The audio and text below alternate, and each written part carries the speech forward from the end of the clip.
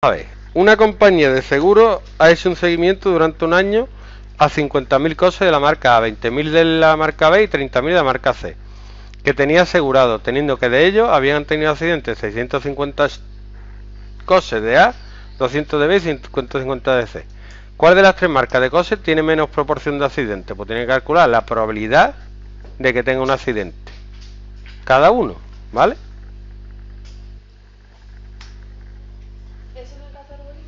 En este, precisamente, no. Pero en el B lo tenemos que hacer todo completo.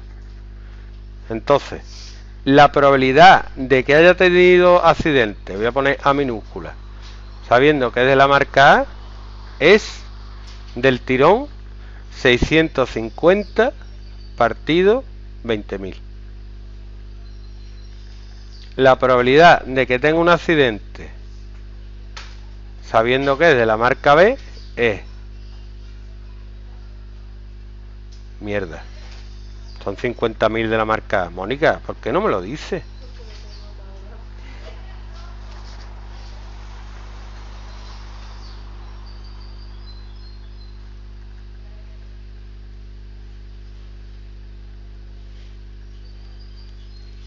Eh, de la B 200 de 20.000 y de la C 150 de 30.000 hace la cuenta y lo que salga ¿vale? venga vamos. Esta es mía y la tuya. La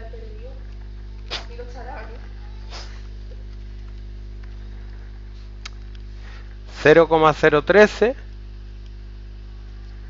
200 partido 20.000 0,01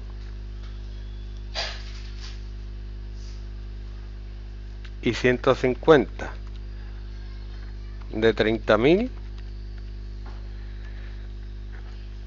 0,005 entonces ¿qué número es más pequeño? el 0,005 ¿cuál es la marca de cosas tiene menos proporción de accidentes? la C Ahora te preguntan, si elegido al azar uno de los coches ha tenido un accidente, ¿cuál es la probabilidad que sea de la marca C?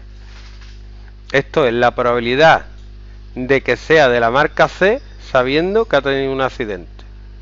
Y para esto tiene que hacer todos los arbolitos y todo. Todo, todo. Entonces, ¿cuál es la probabilidad de que sea de la marca 5 de 10, ¿no? Porque hay 50.000. ¿Qué pasa? Porque hay 100.000 cosas en total y 50.000 son de la marca A. Un medio. Si quieres. ¿Quieres poner, quieres hinchar llena todo eso de cero? ¿El qué? ¿Qué es lo que no ves? Que por qué la marca son 5 de 10 vamos a ver hay 100.000 coches ¿sí o no? 50 más 20 más 30 son 100.000 y 50.000 son de la marca A. La probabilidad de que sea de la marca es 50.000 partidos 100.000 que es un medio. ¿para qué voy a...? que es un número todo grande de la marca B 20.000 de 100.000 son dos décimos, que es un quinto. Y la marca C es 30.000 entre 100.000 son 3 de 10. ¿Vale? Y ahora, la probabilidad de que tenga un accidente Esto lo voy a borrar ya, porque esto ya lo hemos hecho.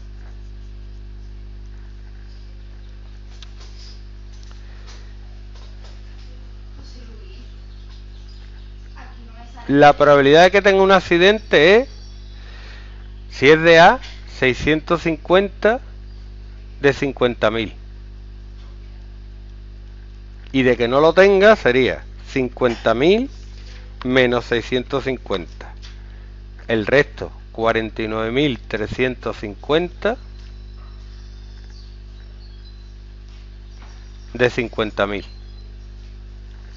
La probabilidad de que tenga un accidente, si es de B, es 200. 200 de 20.000. Y de que no lo tenga, es el resto. Lo voy a poner en decimal, ¿no? Mejor. 650 partido 50.000 es 0,013. Y de que no lo tenga es 1 menos 0,013, 0,987.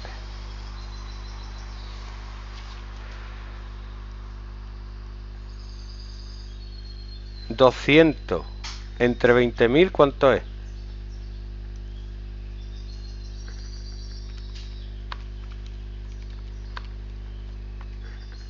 0,01 entonces que no lo tenga es 0,99 y del C de que lo tenga es 150 de 30.000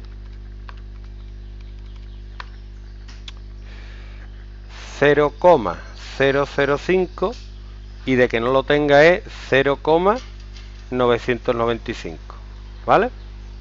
ahora ¿cómo calculo? la probabilidad de C de que sea de C sabiendo que ha tenido un accidente. Te tienen que acordar de la fórmula. Esto era la probabilidad de que sea de C y tenga un accidente partido la probabilidad de que tenga un accidente.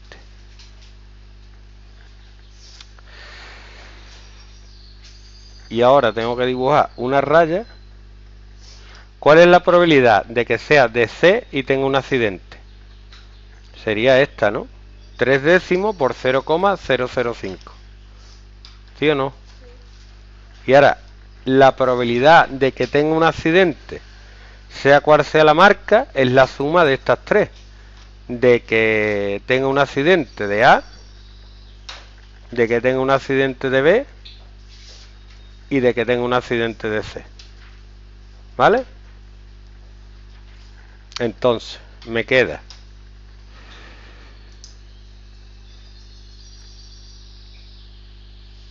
¿Qué me queda? Abajo. Un medio por 0,013 más un quinto por 0,01 más 3 décimos por aquí me falta un 0 ¿no? Sí. Es siempre lo mismo. Teorema de la probabilidad total.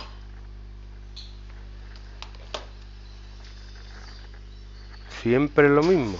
Es que no le tiene que dar más vuelta todo